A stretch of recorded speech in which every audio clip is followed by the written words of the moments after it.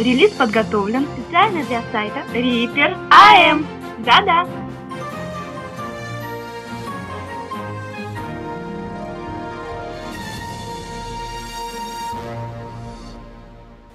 Я помню, как я оказался в бизнесе. Была очень такая конкретная ситуация. Сидел в читалке на 23 этаже на Мехмате. К сессии готовился. Понял, что все уже. Больше, наверное, так сказать, так продолжаться не может. В Китае 17.30. Рабочий день на гонконгской фондовой бирже закончен. Акции с торговым кодом 486 за сегодня немного подросли.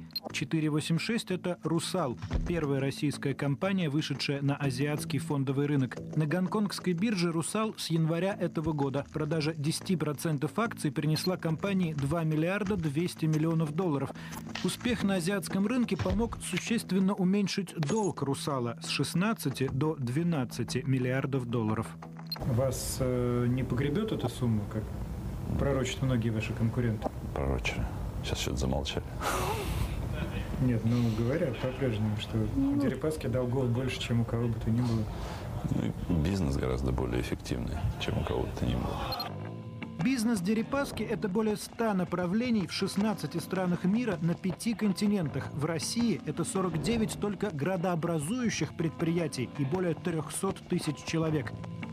Основа могущества группы – алюминий. С него все началось, и он продолжает быть главным активом. Все заводы, связанные с производством алюминия и фольги, объединены в компанию «Русал». Она крупнейший производитель алюминия в мире. Дерипаске принадлежит 47% акций. Деньги, заработанные на производстве алюминия, вкладывали в развитие. Так были приобретены активы в энергетике, авто и авиастроении, медийном бизнесе, страховании, строительстве. В общем, какую отрасль не возьми, почти везде есть Дерипаска. Дерипаска. Всеми принадлежащими ему активами управляет компания «Базовый элемент» или «Базел». Его недруги, когда грянул кризис, стали потирать руки. Такое количество предприятий неизбежно должно было потянуть владельца на дно, ведь для приобретения и развития бизнеса брали кредиты, а долги в кризис – это и есть самое опасное. Я вообще не представляю, как компанию можно развивать, не беря деньги в кредит чтобы построить новое предприятие, чтобы купить производителя сырья, чтобы обеспечить, допустим, какие-то логистические возможности. Но мне кажется, важен не сам процесс. И брались ты кредиты до кризиса, так сказать, а важен результат. Да? То, что компания была отстроена таким образом, в том числе и на кредитные деньги, что она смогла уменьшить свои расходы в момент кризиса, так сказать, стать опять в кратчайшие сроки конкурентоспособной – и знаешь, какие бы ни были там высказывания критикам о том, что «Русал» там был банкрот там, в начале 2009 года, компания ничего не стоит. Компания, на секундочку, была цена больше, чем 20 миллиардов долларов. Мы смогли привлечь 2 миллиарда долларов. Это как раз и есть оценка инвесторов. Саяногорский алюминиевый завод. Именно отсюда в 94-м начинался «Русал», когда главный акционер САЗа стал его генеральным директором. Теперь история повторилась. Дерипаска снова возглавил «Русал». Он лично управляет производством и решает проблемы с кредиторами. Чувствовал себя как доктор с пациентами, которые их успокаивал. Вы с ними как доктор? То есть вы им должны, и вы с ними как доктор? Правильно, паника же у них. Мы... А вот можно а, просто в качестве короткого мастер-класса, вот если предположить, что, это, конечно, сложно предположить, но все-таки вы мне должны. И я начинаю подозревать, что вы мне не отдадите. Вы какие аргументы мне приводите? Что вы говорите? Компания представляет отчетность. У каждого банка, крупного кредитора, есть модель. Он понимает, да, что при таком падении спроса так сказать, да, там, ну, соответственно, цены, объемы, так сказать, да, у компании будут проблемы с ликвидностью. Безусловно, она в срок не сможет э, обслуживать кредиты. И как выглядит это волнение? Вам лично звонят или вам присылают имейл? Этот процесс делали сами, так сказать, мы практически сразу. Мы же модель считаем быстрее, то есть у нас прогнозирование быстрее, чем у банка идет. Ну вот какие аргументы вы приводили? Если нужны аргументы, весь мир был в такой ситуации. Какой может быть аргумент? Чтобы не было падения на нефть, на медь, на никель. Нет, это понятно, не что весь падения... мир в такой ситуации. Я подозреваю, что вы лично мне не отдадите. Вот вы же как-то, наверное, использовали какие-то, не знаю, личные талант, убеждения. Здесь ничего личного. в тот момент не было. Просто. В такой ситуации были практически все компании. Кризис одним из крупнейших кредиторов «Русала» стало государство, которое в лице Веба предоставило кредит в размере 4,5 миллиардов долларов, что позволило сохранить пакет акций Норникеля и через год выйти на биржу сюда, в Гонконг. Вечер после торгов. Чай, крыша небоскреба. Безусловно, мы с ним координировали, да, безусловно, мы получили достаточно крупный кредит. Подчеркиваю, кредит. Как-то уже как-то звучало, да, он не был бесплатным. Мы суммарно заплатили почти 600 миллионов долларов. За, я считаю, неплохое, да, я считаю, неплохое размещение средств Центрального банка. То есть это, в общем, было на самом деле коммерческое вложение, не так, что просто вам взяли и помогли, да? Ну, а сейчас помочь можно только из бюджета, если это прописано строкой в федеральном бюджете. Я вообще не слышал о такой помощи. А это, ну да, кредит. Вы какие выводы сделали глобальные, если говорить из кризиса? Вот вы как-то какой-то зарок себе сделали, вот этого делать не стоит на будущее. Я понял, что нужно гораздо глубже работать с трудовыми коллективами. Потому что, в принципе, основной, скажем так, удар пришелся. Вот оно, сближение с коллективом. Оператор объясняет генеральному директору, то-то и то-то мы решили поменять, чтобы работа стала легче и быстрее. Но оператор изменил, так сказать, э, методику соединения с э, электродвигателем. Да, ему стало гораздо проще. Так, сказать, так называемая удочка была введена. Сделали несколько поставок для того, чтобы ему было удобнее, так сказать, наблюдать за показаниями весов. А это кто предлагает? Это сами рабочие предлагают? Да, мастер рабочий. Вот вы знаете, я, я на многих заводах снимал, а каску только у вас попросили надеть, и объяснили, что вы очень серьезно к этому относитесь. Безопасность, условия труда, экология – это приоритет. Мы здесь не будем одевать респиратор, но в принципе, чтобы вы понимали, да, что в цехах, где идет электролиз, ну, необходимо находиться в респираторе. А где, кстати, перчатки? А где перчатки? Про перчатки вообще речи не было. Да. Вера, дайте журналисту перчатки. Температура только что отлитой чушки так называют слиток алюминия, 500 градусов. Производство по определению опасное. Но заставить рабочих ходить в специальных костюмах оказалось делом непростым. САС построен еще в советское время, и то, что называют менталитетом рабочих, было из той же эпохи. С ее пережитками новый владелец боролся беспощадно. Выход на работу без каски или очков – штраф. Выпивка – вообще серьезное ЧП, сразу увольнение. В итоге этой борьбы с пережитками штат сотрудников сократился почти вдвое, а производительность выросла в 6 раз. Стоящий рядом с САЗом Саенал, завод по производству фольги, тоже был полностью модернизирован. Теперь для всей России тут делают обертки для конфет, крышки к йогуртам, контейнеры для бортпитания. В общем, все, что содержит фольгу. Постепенно э, обучили. Сейчас к нам уже ездят учиться. Приезжали и индусы, и армяне. Ну, со всего мира едут. Рядом с САЗом и Саяналом в 2007-м заработал новый завод. ХАЗ, Хакасский алюминиевый, был построен с нуля, а вернее с 750 миллионов долларов инвестиций. Заводу всего три года, а он почти окупился. Заходишь, и первое впечатление – людей почти нет. Большую часть работы делают автоматы. Это наша собственная технология. Здесь все процессы, все основные решения технологические были, в общем-то, обдуманные и реализованными работниками нашей компании «Русала». Сейчас, когда мы смотрим вокруг, мы понимаем, что здесь потери, здесь можно сделать было с большей выгодой. Фактически нужно понимать, что в мире только мы, китайцы, можем эффективно строить сейчас алюминиевые заводы. Все остальные потеряли эту практику и опыт.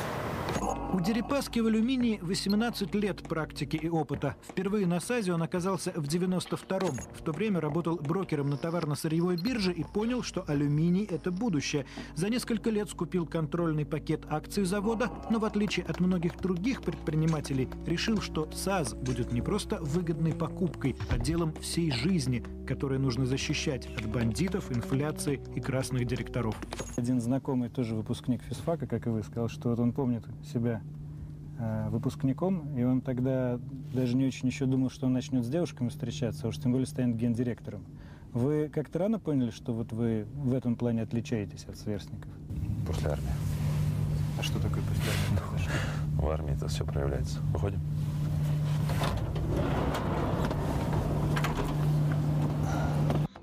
Он отслужил два года сержантом в ракетных войсках стратегического назначения. Система уже начинала разваливаться, и профессиональных офицеров мало заботила ситуация в частях. Как защищать родину, солдатов учил как раз сержантский состав.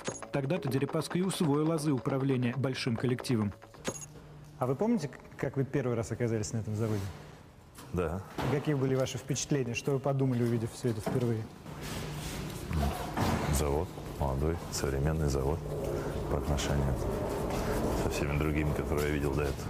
А у вас был какой-то вот мандраж? Вы молодой человек были, огромный завод. Безусловно. То есть это было непростое решение для меня. Но, с другой стороны, понимаешь, когда ты месяцами видишь, что ничего не происходит, когда ты видишь, что могли бы сделаны такие-то улучшения, тем более в тот момент э, завод практически был в таком забастовочном режиме, зарплата не уплачивалась. Углубившись в воспоминания, Олег Дерипаска специально для нас просит открыть старое заводоуправление. Сюда никто не заходил уже несколько лет.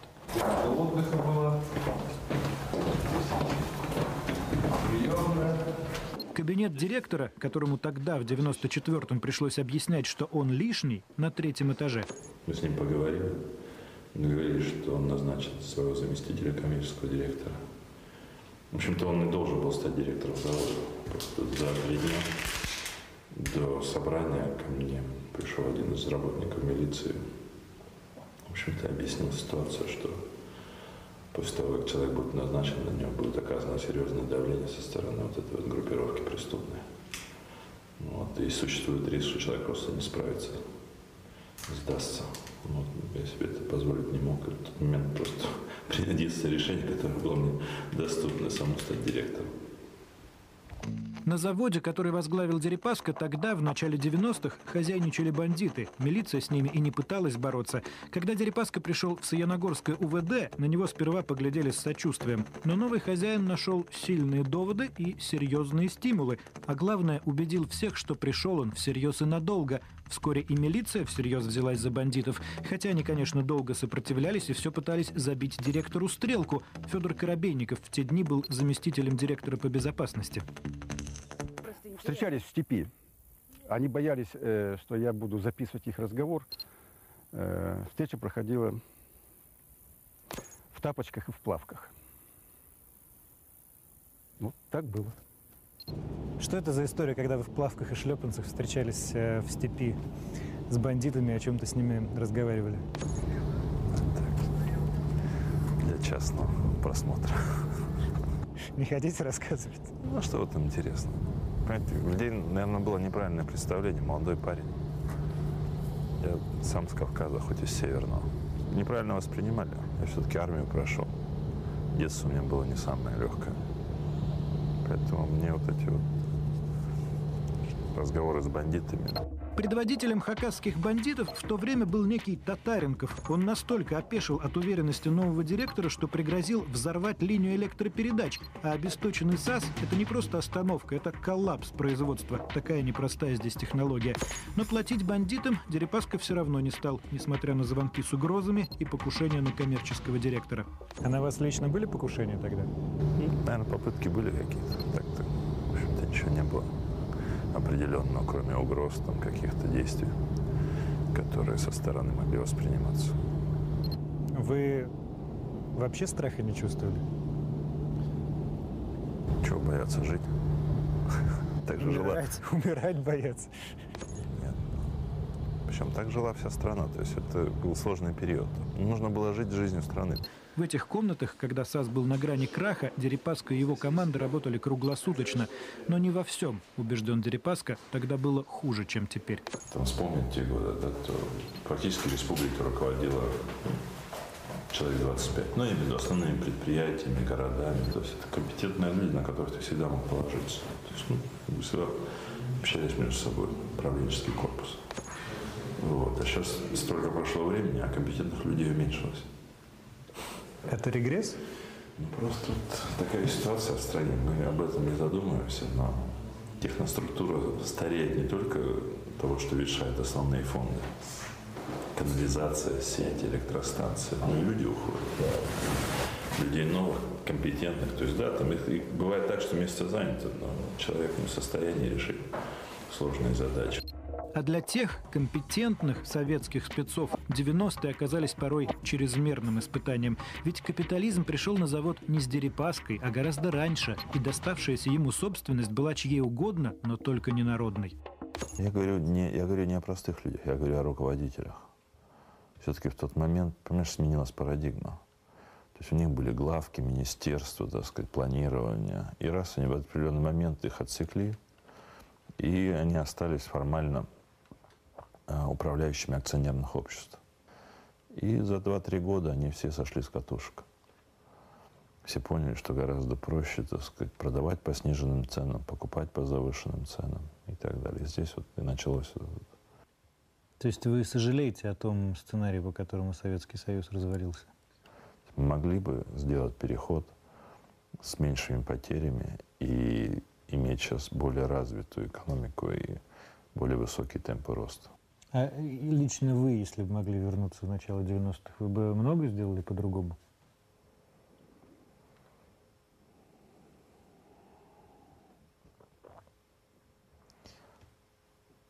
Можно было бы что-то изменить. Конкретнее не скажете? Это долгий разговор.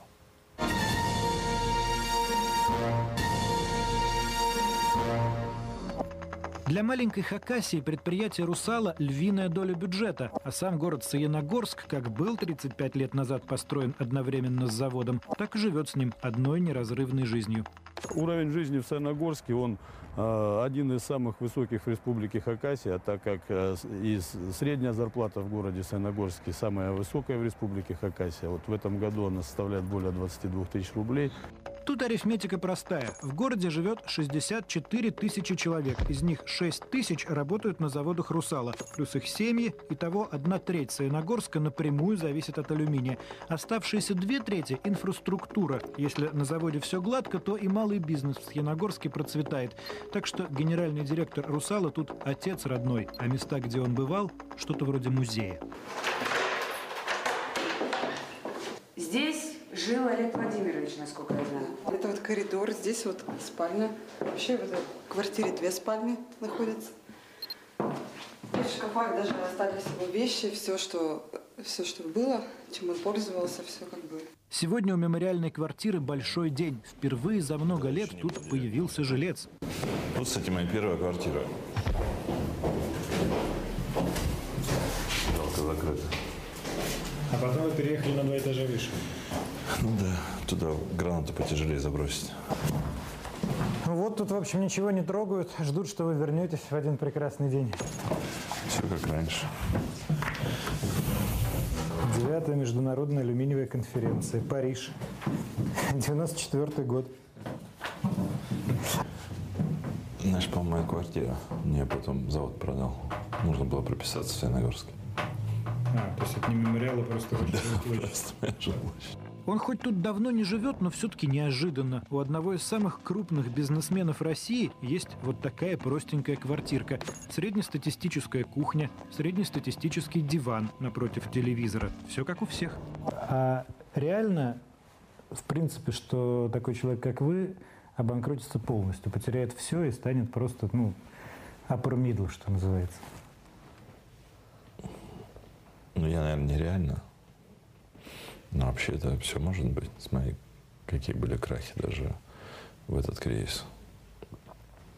А вы почему нереально? Не всегда можно пойти и заработать. А что э, вот этот вот базовый уровень, который не даст э, разориться ниже какого-то предела, он в чем состоит? Это, это... Мозги и руки. Все. Понимаешь, страна-то у нас большая, столько не устроена. Но я так очень теоретически говорю.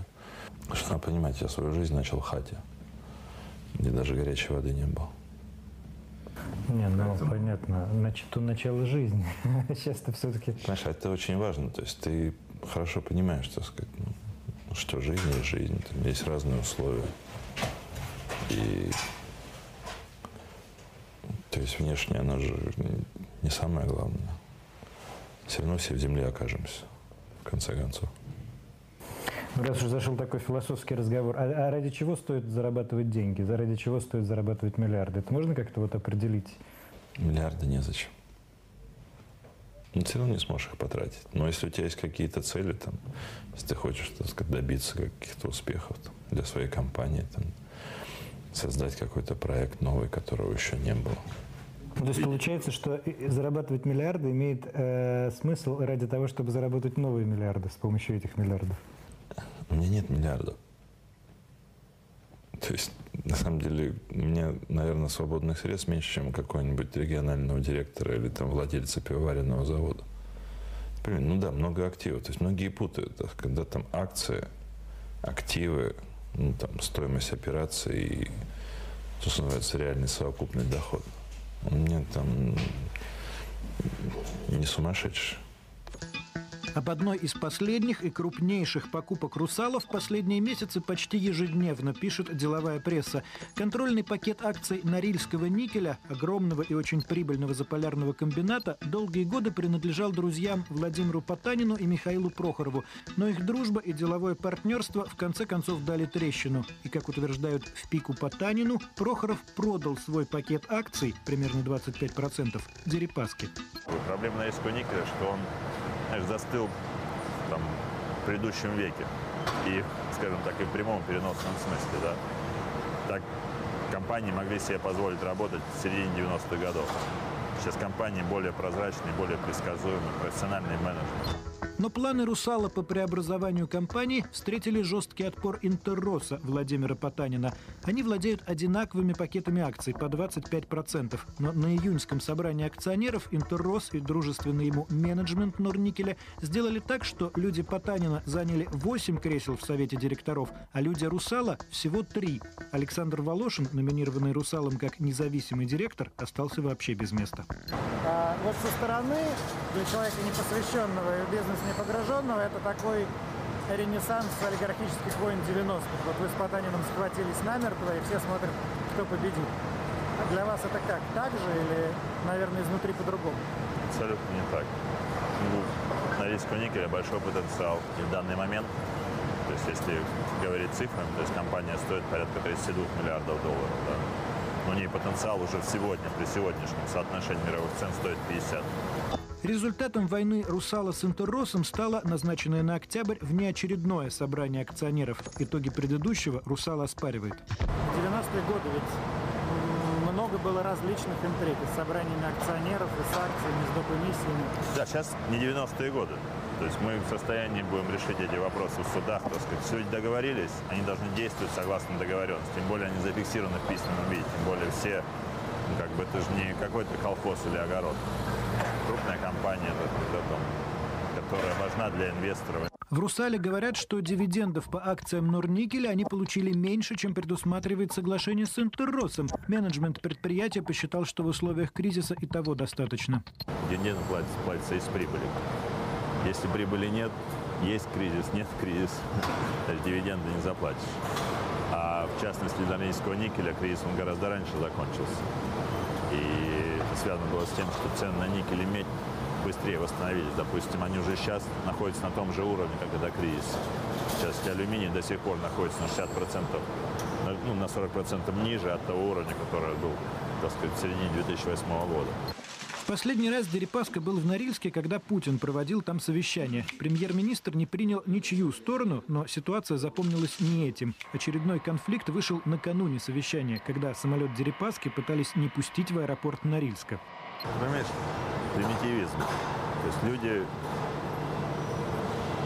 Ну, это беда, к сожалению, этой компании, что они реально думают, что есть какой-то спор между личностями. Да? Мне казалось, наверное, что они будут в тишине и без, скажем так, неприятного моего присутствия докладывать руководству страны, они будут лучше выглядеть, им будет более комфортно.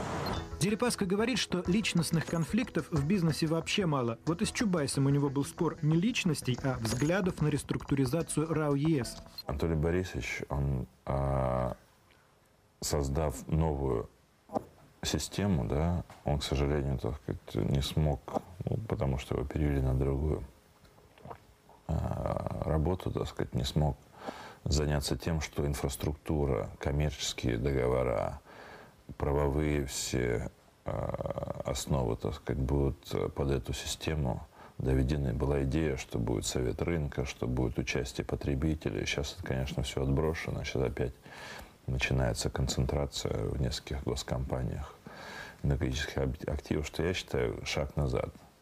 Все дело в том, что выплавка алюминия – одно из самых энергозатратных производств в мире, и бизнес напрямую зависит от тарифов на электроэнергию. А быть в полной зависимости Дерипаска не привык, поэтому сам занялся энергетикой. Совместно с компанией «Русгидро» «Русал» строит Богучанский энергометаллургический комплекс. Станция больше 3,5 гигаватт, и завод э, больше 600, 660 тысяч тонн по мощности, плюс э, из инвестфонда выделены значительные ресурсы, создается инфраструктура, линии электропередач, дороги, железнодорожные. Плюс будет строиться большой целлюлозно-бумажный комбинат. Ну, такой масштабный проект по освоению при Ангаре, то есть всей этой зоны, которая находится выше Красноярской и Иркутской области. Э, продолжая разговор об энергетических э, проблемах, вы э, пострадали сильно от истории Стояно-Шушинской ГЭС? Ну да, это, конечно, катастрофа, которая... Конечно, очень жалко людей, которые погибли.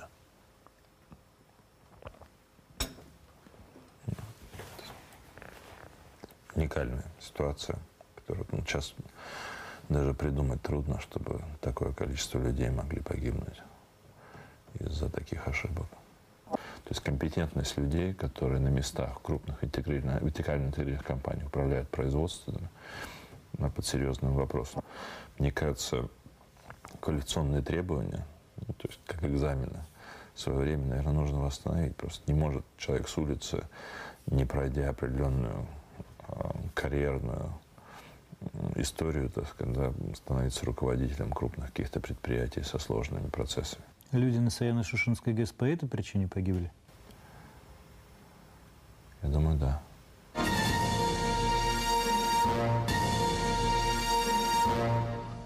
Кроме тех 49 городов, которые полностью зависят от бизнеса Дерипаски, есть один, зависящий лично от Дерипаски.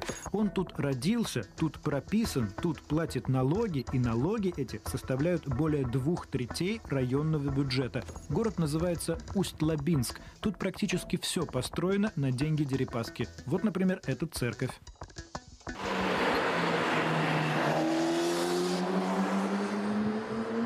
Дерипаска финансировала строительство воскресной школы. Тут и драм-кружок, и кружок по бисероплетению, и хор, уже известный на весь Краснодарский край.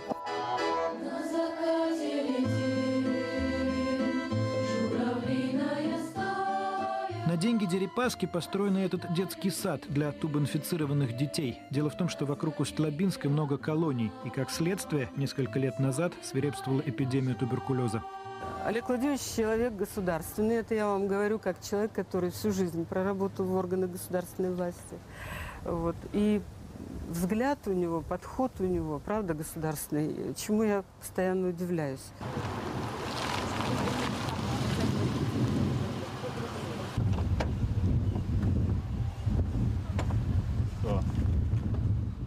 Приехав в свою старую и заново на его деньги отстроенную школу, Олег Дерипаска по-государственному строго спрашивает с директора, почему люди жалуются на низкий уровень образования. А что ж учить стали хуже? Все жалуются. Учить стали мы лучше. Хуже. Мы... Ой, ну как здорово, что ты к нам а заехала. Уже ж давно не Хорошо. Петровна, здоровье. Ничего, как со здоровьем. Хорошо. А вы хулиганом не были? У нас был принципиальный подход. То есть? Мы не проходили мимо беспорядков. К нам пионервожатая пришла и как-то не смогла разобраться, с каким коллективом она имеет. Вот, и мы, я помню, мы здесь ее связали пионерскими галстуками. А что она такого сделала, что вы ее связали? Ну, что-то она пыталась нам читать мораль. Мы же видели, что, в общем-то, она не верит в то, что говорит. В общем-то, мы ее связали и пошли в футбол играть. Вот здесь мы на этом футбольном, видите, сейчас уже заасфальтировано, тогда у нас был Здесь пустырь, мы здесь и рубились. А ваши дети ходят в Россию в школу? Да, в России, в Москве, в разные. А в Лондон отправить или в Нью-Йорк куда-нибудь? Ну а зачем? Ну как зачем? Наивный вопрос, зачем? Все отправляют. Мне кажется, что им прекрасно будет в России. Мы же в России живем. Почему они должны жить в Европе или в Америке? Должны здесь жить, здесь их дедушки, бабушки, прадедушки. Как вам удается детям объяснить, что они что-то сами должны? Трудно сказать, удается или нет, еще мало лет. Семь будет девять. Ну, посмотрим. Ну, Посмотрим, как в армию сходит. Да бросьте, вы не будете отдавать детей в армию. Может, были? Что в этом такого? Мы Олег сходили. Владимирович, я уверен, что это тогда будет, знаете, какая-то специальная армия, какой-то будет спецбатальон. Посмотрим. Ну, в армии должны, ты что? Дерипаска подходит к любимому кабинету – физики. Здесь все переоборудовали, опять же, на средства знаменитого ученика. Вообще же просьб о помощи так много, что Дерипаска создал специальный благотворительный фонд. Он называется «Вольное дело» и в основном финансирует образовательные программы. А вас устраивает российское законодательство в части благотворительности? Нет, оно, его просто нет.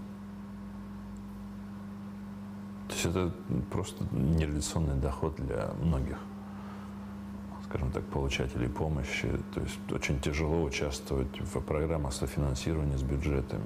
Бюджеты – это конкурс. Поэтому многие, ну, я вижу, так сказать, многие просто делают, так сказать, да, как-то так, как называли раньше, в серую. Просто помогают. И это тоже очень плохо, потому а что... взятки приходится давать, чтобы благотворительностью заниматься? Ну, я вообще противник взяток. Все-таки, мне кажется, у меня такие возможности, что ко мне за взятками вряд ли кто-то подойдет. На деловом языке это называется благотворительная работа в регионах присутствия. В России Дерипаска финансирует школы, детсады, состоит в попечительском совете МГУ, где тоже учился. Выйдя на рынок Азии, он и там материально помог Гонконгскому университету науки и технологий. Господин Дерипаска, мы хотим познакомить вас с нашим русским студентом. Я учусь на мастера науки по электронике инженерии. Вот, но здесь я начал недавно, буквально несколько э, недель назад. Мне очень нравится. Путь простого студента из Перми по нынешним меркам выглядит необычным. По меркам 20-летней давности такой же необычной казалась карьера студента из Усть-Лабинска. Из маленькой районной школы Дерипаска поступил на физфак МГУ, закончил его с красным дипломом, а потом еще отучился в Лондонской школе экономики. Создатель крупнейшей бизнес-империи России, он, приезжая на родину, как-то мягчеет, сам садится за руль и с удовольствием показывает окрестности. Дерипаска решил попробовать свои силы в развитии сельского хозяйства, пока в масштабах одного района. То есть вы скупили здесь всю землю? Не всю, но большой участок достаточно. Большое количество паев. Ну и, соответственно, так сказать, мы восстановили эти колхозы, сделали, так сказать, единое объединение, сделали потом территориальную программу, так сказать, да, то есть провели. Вы восстановили колхозы? Ну, это как юридические лица. То есть, так сказать, мы фактически, так сказать, восстановили старую структуру управления. Если появятся фермеры, я им с удовольствием уступлю землю. То есть мне моей земли вокруг хутора хватит. Что значит, если появятся фермеры? То есть, если к вам придет человек и скажет, «Э, дайте землю, хочу фермерствовать, вы поделитесь? Конечно.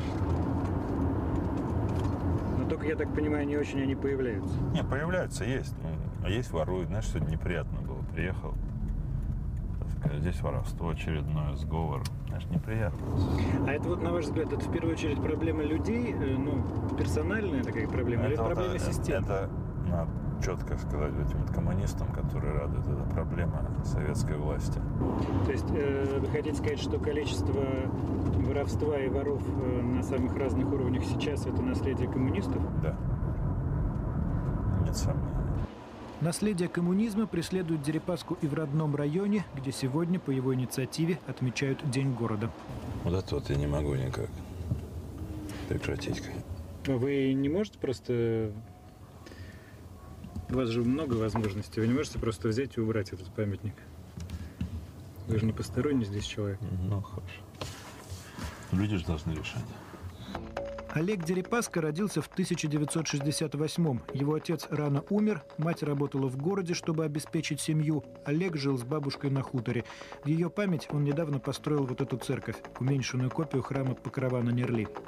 Она точно, точно ее копирует, да, ну не считая размера, или она просто похожая? Купол изменен. Есть несколько особенностей. А вот и дом, где Дерипаска жил в детстве. То есть вы здесь дома, а не в Москве? Да. Серьезно? Ну, конечно. Вы же уехали очень давно. и Ну, а какая разница? Вы давно уже московский человек, как я себе представляю. Слушай, Или я- нет? мне кажется, я в Сибири прожил уже больше, чем в Москве. А вы вообще к Москве как относитесь? Я негативно. Почему? Ну, город без смысла. Ну, это город, где делают большие деньги. Ну, так в том-то и дело, что, ну, кто делает большие деньги? Ну, безусловно, сфера услуг, все остальное. То есть мы зарабатываем в регионах. А Вы сторонник децентрализации, я правильно понимаю? Безусловно. То есть нужно сделать так, чтобы люди были сами ответственны за свою судьбу. Чем быстрее, тем лучше. Вы демократ по убеждениям? Ну, я за то, чтобы у людей было право выбора. Главное, не выбирать червивые. Ну что, пойдемте помоем. Зачем? Можно не мыть? Она же чистая. Под дождем. Вот, вот, правильно, правильно, правильно. Полируешь. Так. Вот это она чистая. Да. И вперед. Все, можно есть? Да. Ну ничего, вкусно. Хотел продолжить разговор про справедливость и про людей, которые страдают от несправедливости. Вот ситуация с Пикалева очень яркая. Я даже не буду вопрос задавать, просто объясните, что там произошло. И почему э, вы оказались крайним. У Пикалева в «Русал» попал, ну, как комплекс, да, уже разделенный. То есть глиноземная часть производства да, крупного старого комплекса после слияния с Суалом. В общем-то. Ну и изначально стратегически он «Русалу» был не нужен. Ну, в силу, так сказать, объема. И после этого мы, посмотрев, решили подумать о том, как ну, дальше развивать это производство. Принято было решение перед самым кризисом, наверное, за 8 месяцев создания этого цементного производства. Фактически это был завод, который обеспечивал строительную отрасль. Соответственно, в момент э, кризиса, да, вот эти вот отношения, которые резко обострились между поставщиками, поставщики не были готовы поставлять по новым ценам, мы не были готовы платить старые. То есть мы фактически видели, что дальнейший производственный процесс, он лишен всякого смысла. То есть завод терял там каждый год несколько миллионов. Вот. Мы приняли решение об остановке завода. Ну это же градообразующее предприятие. Да, часть. Ну вы предполагали последствия? Не, мы обсуждали с администрацией области. Были предложены людям рядом рабочие места в Тихвине. Когда дальше происходит перекрытие дороги, вы готовились к такому? Нет, ну, мы вели переговоры, так сказать, в общем-то, да, и, так сказать, у нас был диалог. Ну, слушай, люди же хотят вот этого ажиотажа. Плюс, э, Какие люди хотят? ну, которые на этом, они же не работники. Те, кто перекрывает дороги, они, как правило, не работают. То есть это уже профсоюзы, такой, знаешь, освобожденный труда персонал. Так. Надо понимать, тот, кто работает, тот всегда себе найдет работу. Нужно понимать. Но есть люди, которые, вот, скажем так, легко возбудимы и выходят на дороги. Значит, вышли, перекрыли дорогу. А дальше вы просто крайним оказались? Ну вот в той ситуации с э, ручку верните. Ну нет, никто же не хочет глубоко разбираться. Ну, для меня, знаешь, было как важно, как ты говоришь, так сказать, восстановить справедливость, так сказать, да, там, цена на закупаемое сырье была снижена. Предприятия, которые были наши потребителями, согласились покупать по новым ценам. То есть была восстановлена минимальная рентабельность цепочки. Ну, предприятие начало работать. А там кто у кого ручку забирал или кому она в итоге досталась, какая разница. Сокращения были и на заводе ГАЗ, он тоже принадлежит Дерипаске. Но тут нашли неожиданный выход. Стали разрабатывать новую модель – «Газель Бизнес». Идея была в том, что как только кризис стихнет, люди снова будут покупать машины для малого бизнеса. И тут-то им и предложат новую дешевую «Газель». Хотя и старую модель Дерипаска готов защищать перед потребителем. Я просто знаю, знаешь, неприятные примеры, когда была авария этого экспресса питерского, да. Так сказать, я знаю, что вот эти вот иномарки, которые были закуплены, переднеприводные, они все не смогли доползти. То единственные машины, которые прошли, то это были «Газели». Но опять, нельзя на основе одного случая делать какие-то выводы. Ну, просто это факт. Когда Дерипаска купил ГАЗ, многие думали, что завод начнет собирать только иностранные машины, а все русские бренды канут в историю. Но Дерипаска сохранил не только «Газель», но и «Волгу». Вот она, переработанный американский «Сайбер».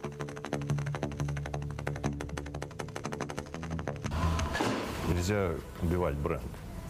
Понимаешь? Если не забывай, так сказать, понимать, что Автозаводской район – это город, больше 400 тысяч жителей и несколько десятков тысяч, которые живут автомобилями. Да, это молодые люди, да, да, уже опытные. И для них будет психологический шок, если Волга перестанет быть Волгой? Я считаю, что в принципе в России должен быть свой автомобиль. Я сейчас пока не вижу ни одного русского проекта, который в состоянии выжить. Выжить поможет и концерн Volkswagen, который уже объявил о планах собирать на газе гольфы и пассаты. На немцев произвела впечатление внедренная Дерипаской производственная система, отчасти позаимствованная в Японии и потому содержащая японские термины, иногда, впрочем, звучащие вполне по-русски. Андон – визуальный контроль. Джикода – предупреждение проблем. Кайзен – улучшение. Покайоки – предотвращение ошибок. Муда – работа, не добавляющая ценности продукту. А вы решили этот термин оставить на российском предпроизводстве? Знаешь, мы ничего не решали. У нас были опытные, в принципе, консультанты, да, так сказать, и они общались с специалистами, которых мы предложили для обучения, так сказать, да, для того, чтобы они помогли нам разобраться с проблемой. И мы говорим, вот у нас такие-то, такие-то проблемы. Они, общаясь, так сказать, да, и в конце концов, специалисты на своем, на своем языке, так сказать, оставили те термины, которые были ясны обоим сторонам. Канбан, Муда, Джидоку, там, ну, ряд других, так сказать, да, и они прижились. Вы уходите от такой схемы, когда вот через весь цех кричат «Петрович, у меня кончился ну, этот...» это, это, скажем так, это упрощенное. Мы уходим от того, что поставщик, иногда это наше производство заготовительное или внешнее, перестает работать на склад. Он точно знает, сколько потребил, так сказать, в этот день или там в этот час, потому что к нему вернулся листок. Он знает, что ему нужно, так сказать, заполнить эту тару, так сказать, именно таким количеством материала. И, соответственно, так сказать, нет этих промежуточных складов, нет этой бессмысленной сортировки, так сказать, да, там, или остатков, которые потом, так сказать, не востребованы. А тут прям каждое движение рабочего просчитано? Ну, в процессе, да. То есть мы сделали зонирование конвейера, так, да, там, ну, и, соответственно, так я считаю, и также, в общем, как и я, гордятся и, я думаю, сказать, рабочие газы и инженеры, производственный состав, так сказать, что газовский конвейер один из, не просто один, а, может быть, так сказать, лучший образец производственных возможностей. Мы никогда не, не станем думать так, как они, жить, как они. Так сказать, да. ну, нужно понимать, так сказать, да. И мы считаем, что так сказать, мы должны жить свою жизнь. Но, с другой стороны, так сказать, изучать их инструменты, да, понимать, как мы можем это использовать, так сказать, для того, чтобы добиться того же самого. Стабильности по качеству, так сказать, максимальной производительности. Ведь воровали хорошо на заводе. Да, ужасно. То а есть, сейчас как на... Ну, сейчас тоже, что называется, в семье не без урод попадаются. Но я считаю, что более лояльная, добросовестная атмосфера так сказать, создана. Да, люди понимают, что они работают фактически сами на себя. Наша российская черта, да, мы все время стараемся скрывать проблемы. Ты, скрывая проблем, никогда не решишь. А мы вынуждены, так сказать, да, там это делать, ну, в силу, скажем так, такого вот наследства социализма, да, только проблемы значит, тебя наказывают за это. Да? С другой стороны, начальник должен быть благодарен или руководитель, так сказать, да, что проблема выявлена, так сказать, да, она устранена и больше не появится. Дерипаске непонятно возмущение тех, кто выступал против госдотации газу. Во-первых, говорит он, не дотации, а реструктуризации кредитов. Во-вторых, это же не Дерипаске лично, а всем работающим в компании. Без внешней помощи людей бы в кризис пришлось бы просто распустить по домам и, возможно, надолго. Это же оценки нет. Никто не хочет сравнить там две автомобильные компании, государственную и частную. Что в них происходит? Газ и вас? Ну, газ и вас, например. То мне не стыдно, так сказать, что происходит на газе. Мы можем, повторять, перефразируя известную фразу, сказать, что хорошо для газа и для русала, то хорошо для России? слушай, да, и то, что хорошо для АвтоВАЗа, и для «Газпрома», и знаешь, для любой компании, так сказать, средней, так сказать, да, которая производит кондитерные изделия.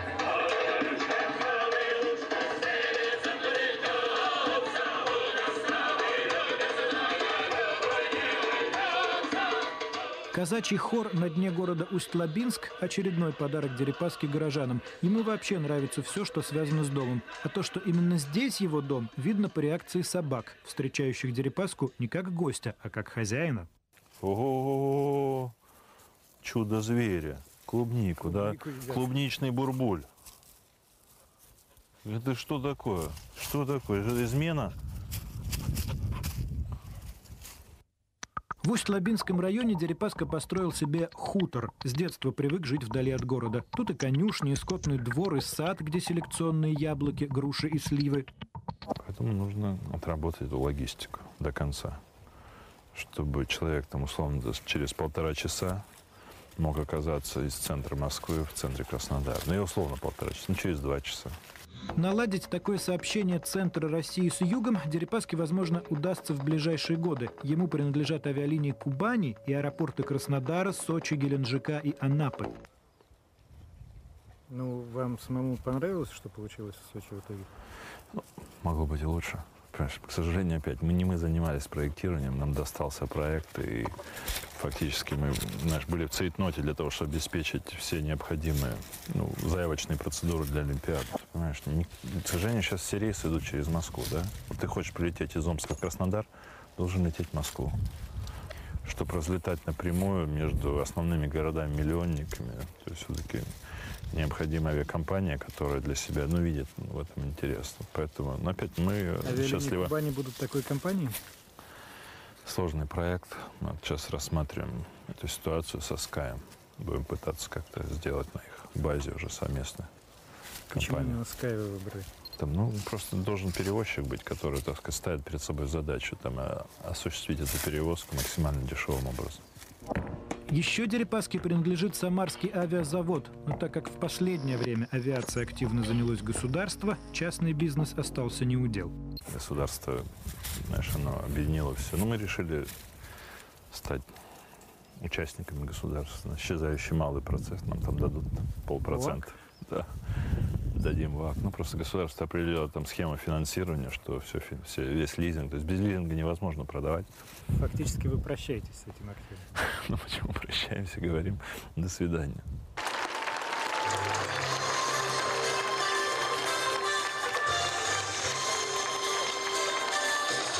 День города подошел к кульминации. Специальный гость Никита Михалков закрывает Кубанский кинофестиваль. Стадион заполнен людьми. Позади всех, в длинных тенях, скромно улыбаясь, стоит тот, кто устроил этот праздник.